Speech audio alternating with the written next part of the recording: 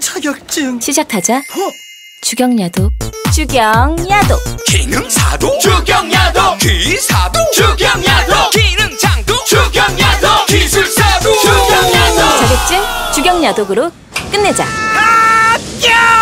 이게 뭐라고? 4번에 표준 대기압을 나타낸 거 당연히 760mm 순주 그죠? 1.033kg 폴스 제곱센티미터 14.7 psi 다 맞죠? 뭐가 아니에요? 1번이죠? 1atm이어야 돼요. 자, 5번에 보시면 대기압이 14.7이고 게이지 압력이 23.2 psi면 절대 압력은 두 개 더하면 되죠? 14.7 플러스 23.2 이렇게 해주시면 37.9 이렇게 나온답니다. 자, 6번에 보시면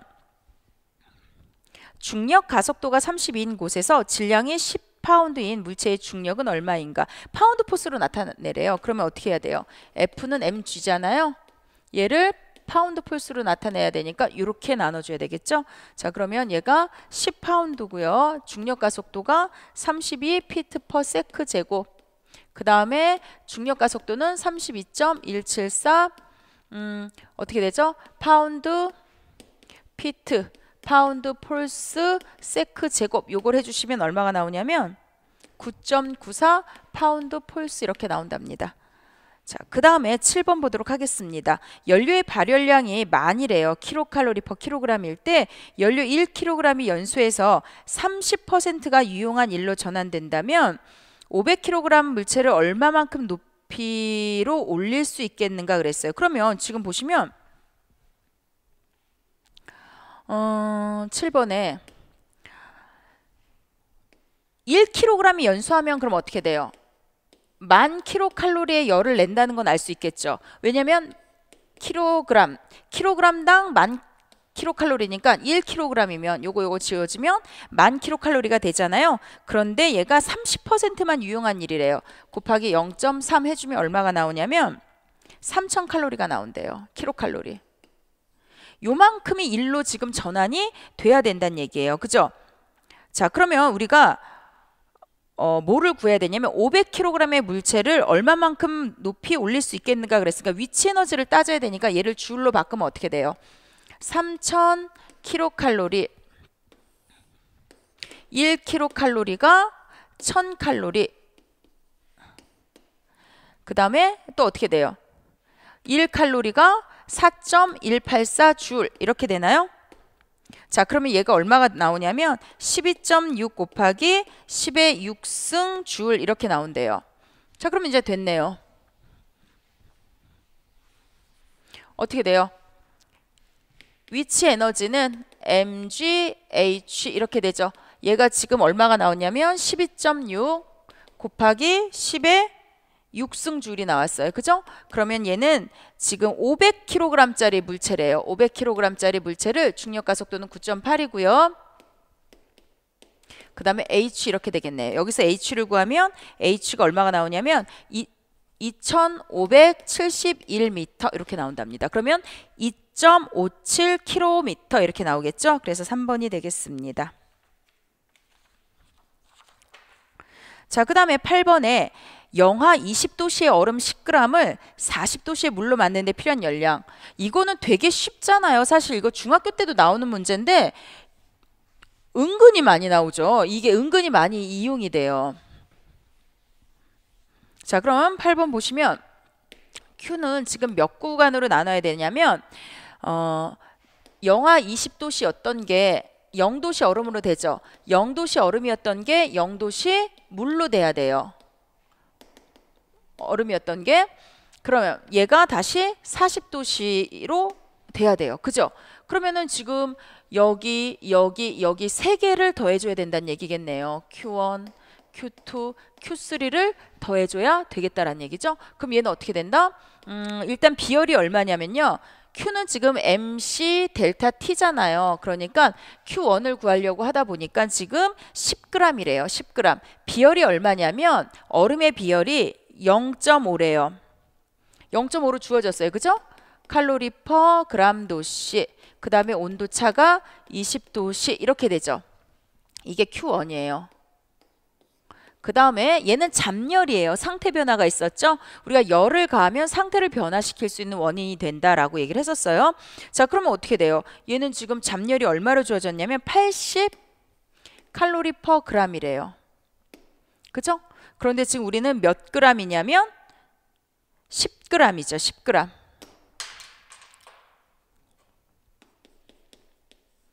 그 다음에 마지막으로 얘는 지금 10g 곱하기 비열이 1칼로리 퍼 그램 도시 온도 변화는 40도씨 이렇게 돼요. 얘를 싹 다 더해주니까 얼마가 나오냐면요. 1300 나온대요. 1300.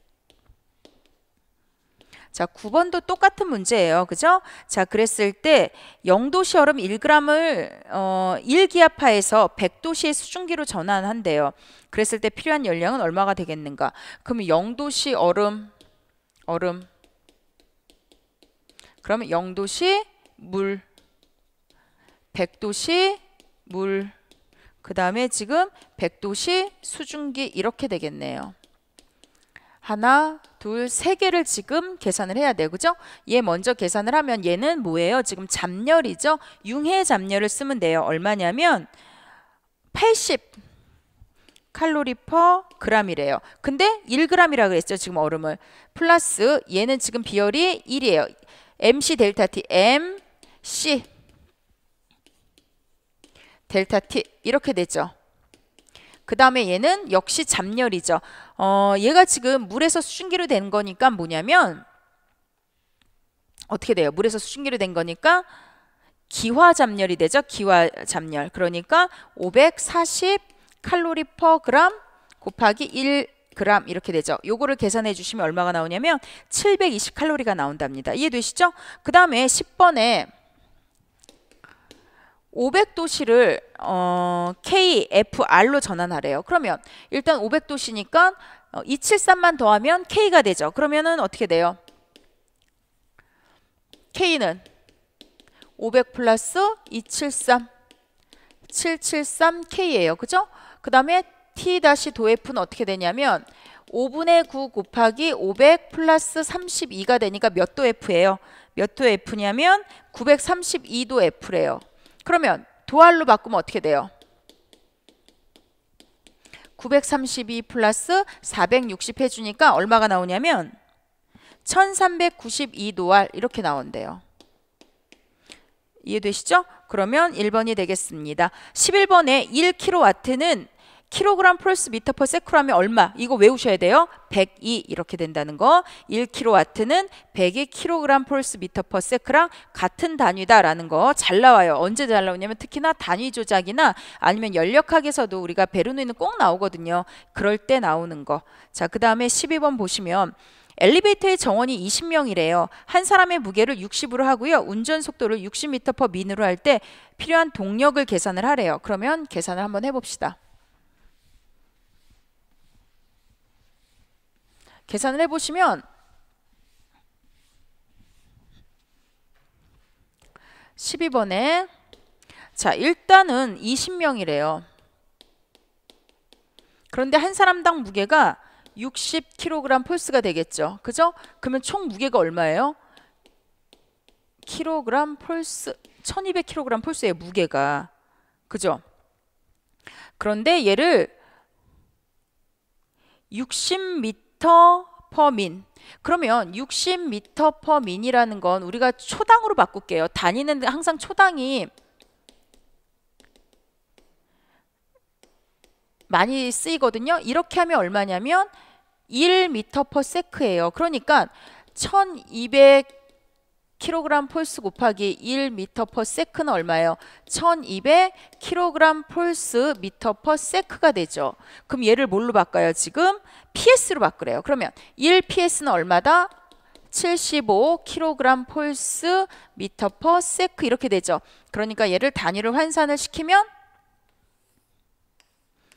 75kg force 미터 퍼 세크가 1psi다. 요거를 계산해 주시면 얼마가 나오냐면 16ps가 나온대요. 16ps. 자, 그 다음에 13번 보도록 하겠습니다. 10kg의 물질 비열이 0.2고요. 100도씨로 가열한 후에 이것을 20도씨의 물 100kg 중에 냉각시킬 때 최종 도달 온도는 얼마인가? 이거는 뭐냐면 13번에 고온의 물체가 잃은 열은 저온의 물체가 얻은 열과 같아지는 거예요. 무슨 말씀인지 아시겠죠? 그러면 잃은 열이 어떻게 돼요? 얘가 잃은 열은 지금 10kg, 비열이 0.2 킬로칼로리 퍼 킬로그램 도시고요. 자, 그러면 얘가 지금 얼마였냐면 100도시래요. 100도시인데 얘는 온도가 이렇게 100도씨였다가 떨어졌을 거고 저온의 물체는 지금 얼마냐면 20도씨래요. 20도씨였다가 올라갔을 거예요. 그래서 이게 평형 온도가 이루어지겠죠. 이거를 T라고 놉시다 그냥. 그러면 얘는 어떻게 된다? 100 빼기 T. 이게 바로 뭐예요? 고온의 물체가 잃은 열이 돼요. 그죠? 자, 이게 바로 저온의 물체가 얻은 열. 저온이 지금 얼마냐면 어, 물 100kg이래요. 100kg. 100kg 곱하기 비열은 얼마예요? 1이죠. 1kcal per kg 도시고요. 얘는 T 빼기 20이 되죠. 20이었다가 T까지 올라갔으니까 온도 변화량이 T 빼기 20 이렇게 해서 T를 구해주시면 T가 얼마가 나오냐면 T는 21.6도씨 이렇게 나온답니다.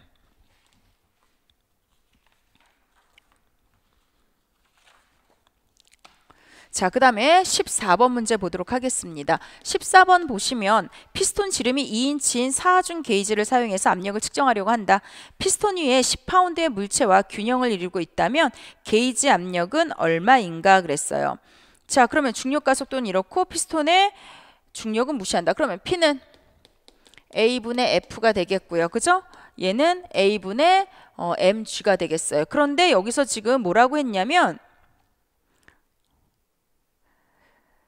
음, 지금 뭘로 했냐면 저걸로 합시다 그러면은 우리가 GC로 나누어 주면 어, 중력 단위가 나오겠죠? 요걸 해주면 지금 얼마냐면 10파운드래요. 그 다음에 중력은 32.174 똑같네요. 그죠? 피트 per sec 제곱이고요. A가 지금 얼마냐면 A가 2인치 4분의 파이 곱하기 2, 4인치의 제곱이잖아요. 그럼 피트로 바꿔주면 1피트가 얼마예요? 12인치잖아요, 지금. 그죠? 아, 단위를 PSI로 하래요. 오, 다행히. 단위를 PSI로 하면 PSI 단위가 뭐예요? 파운드 force per 인치의 제곱이에요. 그죠? 그러면 굳이 이걸 안 해도 상관없겠네요. 안 고쳐도. 그죠? 그러면 이제 얘가 174 파운드 피트 per 파운드 force sec의 제곱이 되죠. 그럼 파운드 파운드 지워지고 피트 피트 지워지고 sec 이거 되고 얘 올라가면 파운드 force per 인치 제곱 나오죠. 요걸 우리는 뭐라 한다? PSI라 한다. 요거를 다 계산기로 두드려 주시면 얼마가 나오냐면 3.184가 나온답니다. 자, 그 다음에 15번 보도록 할게요. 지상 60m 높이에서 물체가 떨어지고 있다. 지상에서 20m인 위치에서 물체의 속도는 얼마인가?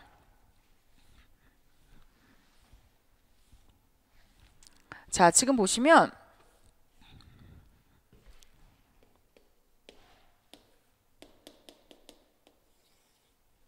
여기가 얼마냐면 60m래요. 떨어지고 있는데 지상 20m. 여기가 20m예요. 여기서 물체의 속도를 구하래요. 이게 뭐예요? 우리가 역학적 에너지 보존의 법칙 옛날에 배웠던 거 혹시 생각나시나요? 이게 중학교네요? 고등학교예요? 어쨌거나 학교 다닐 때 배우셨던 거 있죠? 역학적 에너지 보존의 법칙이라는 게 뭐냐면 전, 역학적 에너지는 뭐예요? 위치 에너지에다가 운동 에너지를 더한 거 이게 보존이 되는 거죠. 여기는 지금 들고 있어요. 60m를 유지하려면 얘를 여기에 들고 있어야죠. 그럼 속력이 0이야. 그러니까 운동 에너지가 없죠. 여기서의 역학적 에너지는 위치 에너지예요. 그래서 mg, h 이렇게 되면 얼마가 나오냐면요. 질량은 안 나왔죠. 질량은 안 나왔어요. 그러면 m 곱하기 9.8 곱하기 높이 60 이것만 나왔어요. 그죠? 여기서는요. 역학적 에너지가 뭐냐면요. 이것도 있고요. 이것도 있어요. 그죠? 그러면 여기서는 지금 m G H가 얼마? 20이에요. 그 다음에 얘는 어떻게 돼요? 2분의 1 mv의 제곱 이렇게 되죠. 역학적 에너지 보존의 법칙에 의해서 이게 같아야 돼요. 그죠? 그러면 m 곱하기 9.8 곱하기 60은 m 곱하기 9.8 곱하기 20 플러스 2분의 1 mv의 제곱 m m m 다 지워지니까 여기서 v를 구할 수가 있겠다. 여기서 v를 구하면 얼마가 나온다? 28m per sec 이렇게 나온답니다. 자, 이제 16번이 남았네요. 16번 보시면 어떤 유체가 장치 속으로 1.8km per min의 유속으로 들어간다. 자, 들어가고 나갈 때 그 유체의 운동 에너지 차가 1kcal per kg이라면 유체가 장치를 나갈 때의 속력은 얼마가 되겠는가 그랬어요. 자, 지금 이거는 좀 지우고 가도록 하겠습니다.